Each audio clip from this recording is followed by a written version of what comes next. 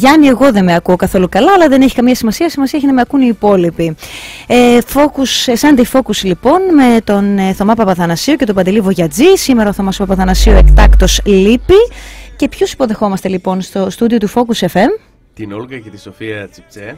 Που είναι δικηγόροι. Και διαπιστευμένες διαμεσολαβήτριες. Έτσι ακριβώς. Καλημέρα, καλή χρονιά.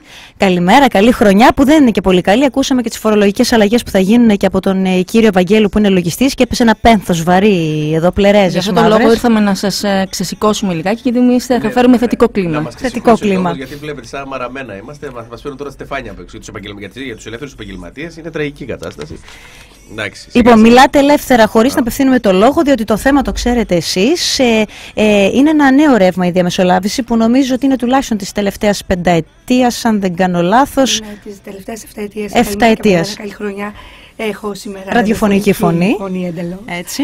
Είναι μπάσα. Λοιπόν, η διαμεσολάβηση μετράει 8 χρόνια πλέον στην Ελλάδα, το 2010 που ψηφίστηκε ο νόμος της διαμεσολάβησης. Απλά τώρα πλέον από τις 12 Γενάρη και μετά θα γίνει υποχρεωτική για κάποιες υποθέσεις αστικού δικαίου κυρίως. Ε, για κάποιες συγκεκριμένες υποθέσει. Εδώ έρχομαι να ρωτήσω το εξής. Για τις άλλες και... είναι προαιρετική. Προαιρετική, ναι.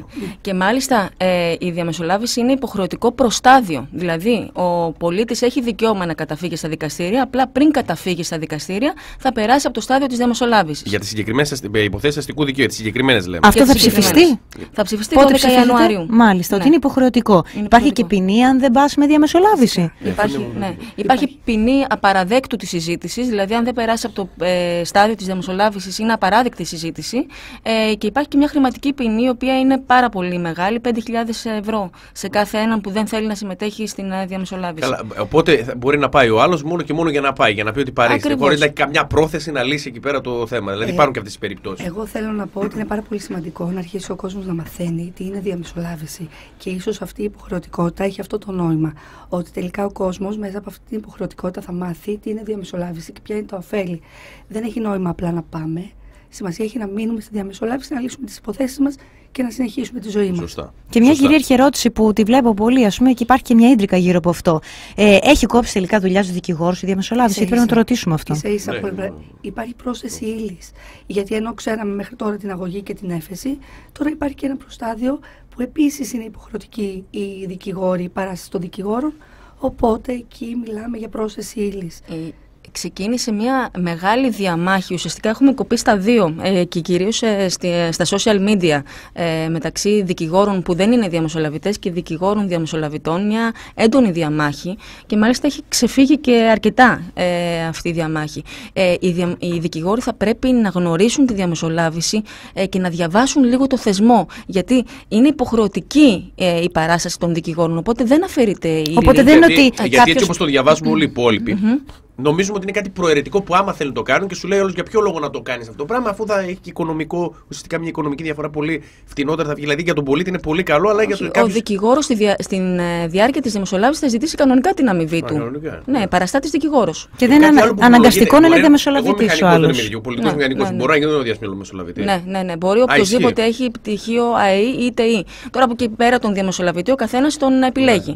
Οπότε αν ε, είναι κάποιο αντικείμενο που θέλει νομικές γνώσεις θα επιλέξει έναν δικηγόρο διαμεσολαβητή. Αν όμως υπάρχει κάποια οροφοκτησία, διαφορά σε οικοδομή. Σε οριζόντια και κάθε ιδιοκτησία. Μπορεί να επιλέξουμε έναν ε, που εμπίπτει στο κομμάτι του, ε, του, του αυτού που ασχολούνται του δικαίου συμβολογράφη. Πώς πράγμα το λέγεται; Ναι, το εμπράγματο. Ναι.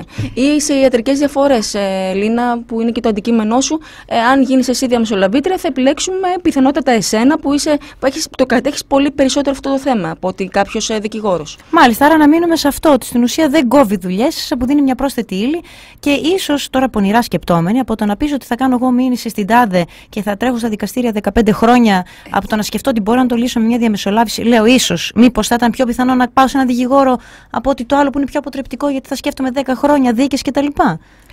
Η, η, ο χρόνος μειώνεται δραματικά, δηλαδή μπορεί να λυθεί μια υπόθεση μέσα σε λίγες μέρες ή μέσα σε λίγες ώρες.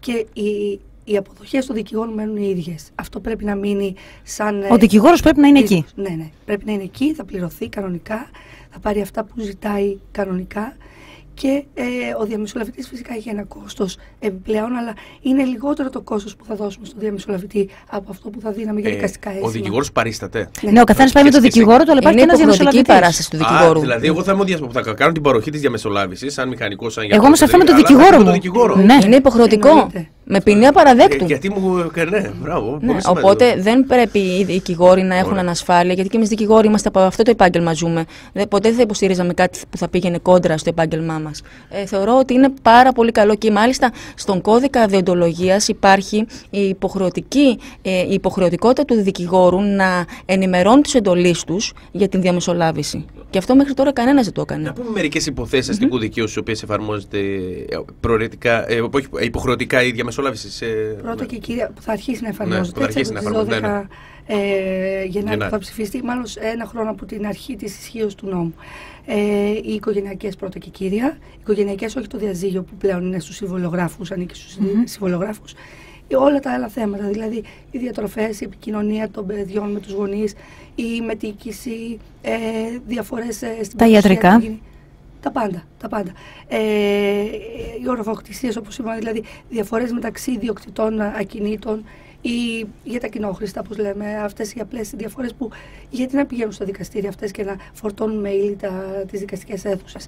Ε, είναι οι, οι κάποιες ιατρικές, τα τροχαία, εργατικά, ξεχνάω Ε, κάτι; ναι, και τα κόκκινα δάνεια, δηλαδή οι Που είναι και το τραπεζικές- θέμα μας το Οι σημερινό. τραπεζικές διαφορές ε, για τις οποίες όμως δεν υπάρχει εμπράγματη εξασφάλιση από την τράπεζα.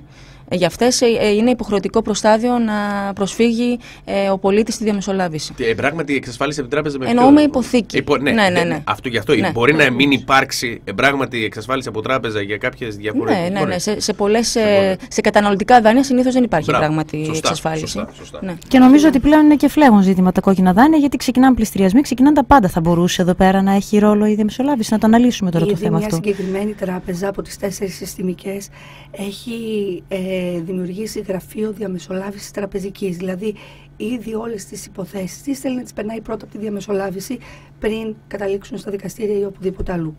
Οπότε είναι πάρα πολύ επίκαιρο αυτό το θέμα, γιατί ε, έχει ξεκινήσει να εφαρμόζεται στην πράξη ο όρος τραπεζική διαμεσολάβηση. Οπότε προστίθεται αυτή τη στιγμή και ένα ακόμα νομικό εργαλείο. Μέχρι τώρα γνωρίζαμε όλοι τον εξοδικαστικό, τον περιβόητο εξοδικαστικό που έχει Ή τον νόμο Κατσέλη. ή τον νόμο Κατσέλη για τα φυσικά πρόσωπα που έχει και, και οι δύο αυτοί οι νόμοι είναι πολύ ευεργετικοί αλλά έχουν πάρα, πολύ, ε, πάρα πολλές προϋποθέσεις για να ενταχθεί. Ενώ η τραπεζική διαμεσολάβηση δεν υπάρχει καμία προϋπόθεση. Αρκεί να θέλει ο άλλος